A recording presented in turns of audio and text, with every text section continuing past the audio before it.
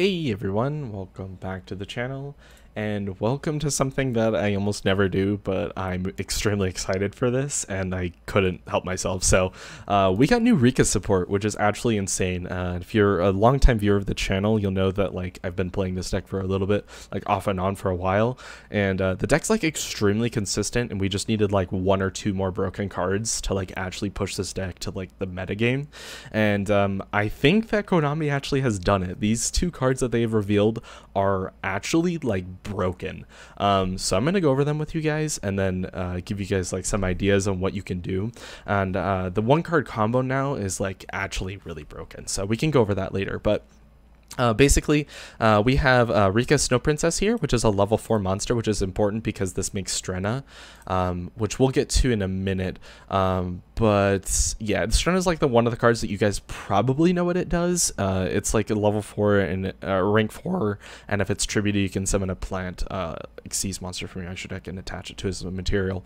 Um, but yeah, anyways, uh, during the main phase, you can summon it from your hand, and then if you do, you cannot summon uh, monsters while you control this monster except for plants.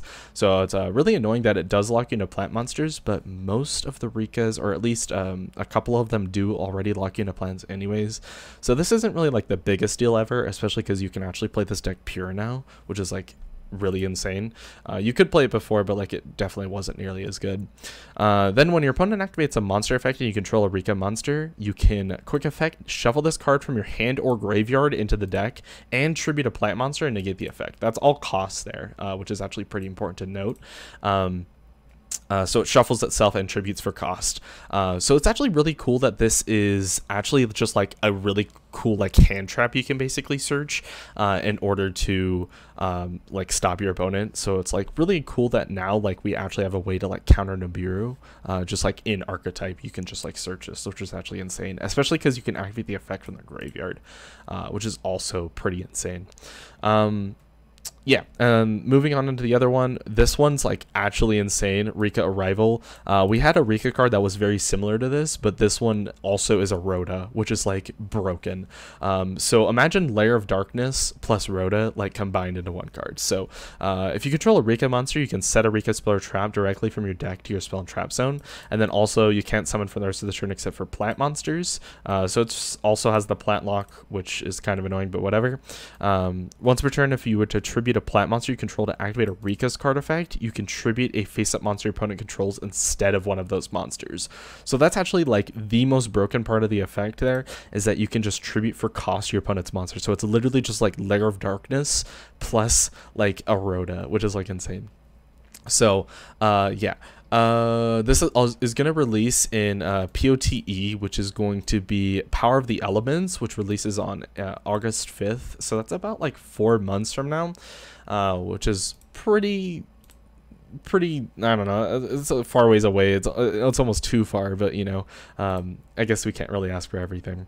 Uh anyways i want to show you guys like what you can do like a, as like a one card combo for this because like this is actually just like insane.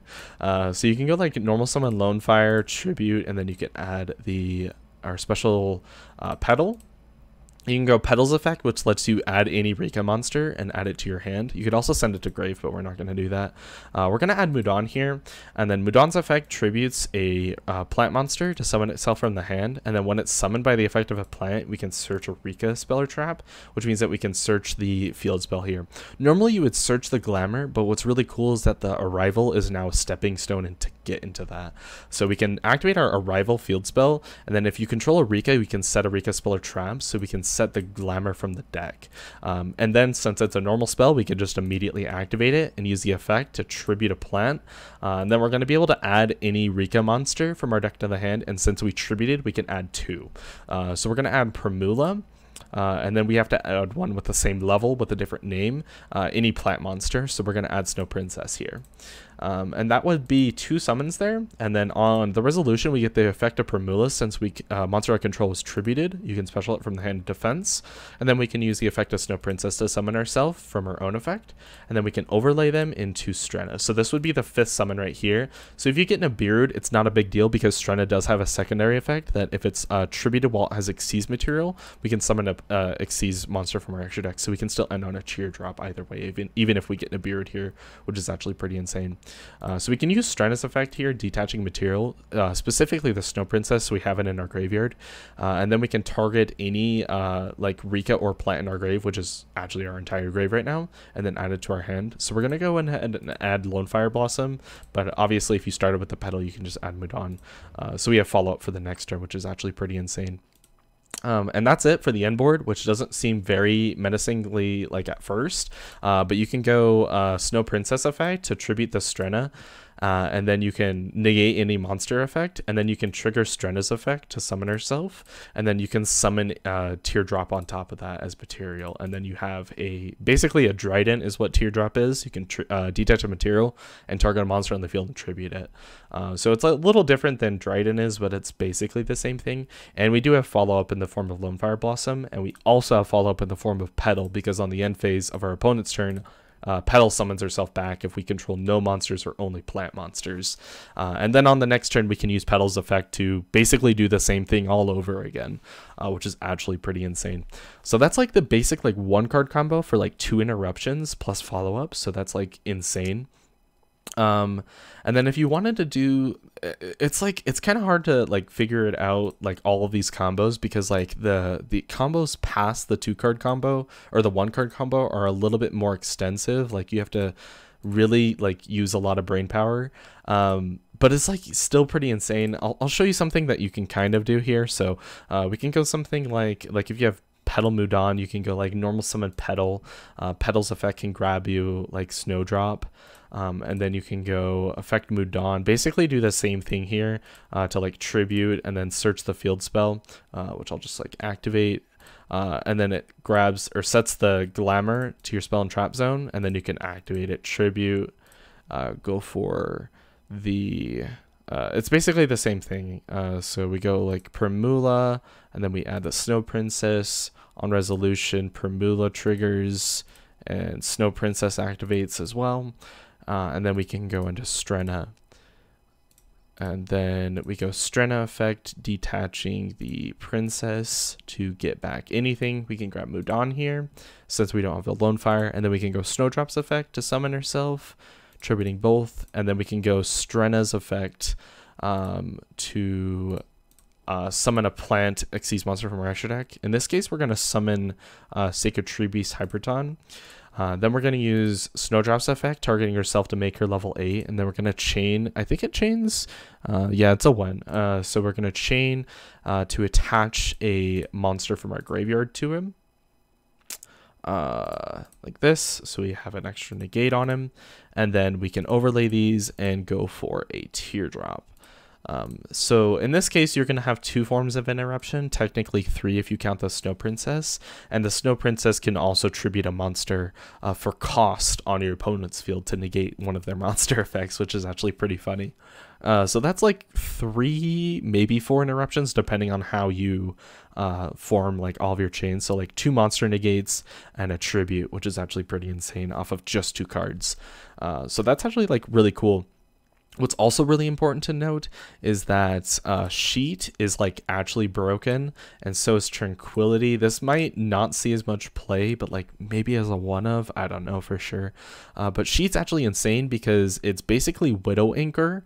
Um, and while you have the field spell, it's like way more broken. So you contribute a plant monster to take control of one of your opponent's monsters, and then neither player can activate its effects that turn, um, which is insane because you can also tribute one of your opponent's monsters and then take one of their other monsters. So this effectively removes two monsters on your opponent's field, um, and you're just going to take control of one of them. So that's like actually insane.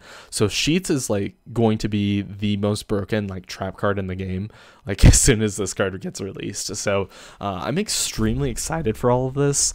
Uh, this has gotten me like really thinking the last couple of hours. Uh, this has only been out for a couple of hours, so I, I, probably missed something. There's probably something you can bet like do, um, but this is more to give you guys like an idea rather than like an actual like combo guide uh, for this, which is actually like the point, I guess. um, but yeah. I think that's about it for the video. Um, one thing I also want to mention is that uh, so it says once returned if you were to tribute a plant monster you control uh, to activate a Rikka card's effect. So I believe that you have to control a plant monster in order to actually get this effect. Um, I think I don't know. It is also like continuous, which is like insane because like it never like activates, which is so good. Um, but what I mean by this is like, for example, you have to if your opponent controls a monster. So I'll just give him like a token.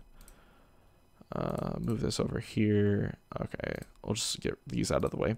So, for example, you can't like use Mudan's effect uh, to tribute a plant monster and like use the replacement effect of the field spell to just tribute it while you control no monsters.